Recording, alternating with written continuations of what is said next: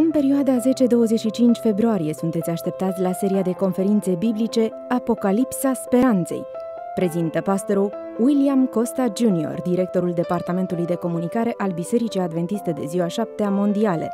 Evenimentul are loc în Biserica Adventistă de Ziua 7 Brâncoveanu, situată pe strada Râul Mara, numărul 8, sector 4, București. La finalul fiecărei prezentări puteți beneficia de consultații și consiliere medicale. Pentru detalii, accesați site-ul brâncoveanu.adventist.ro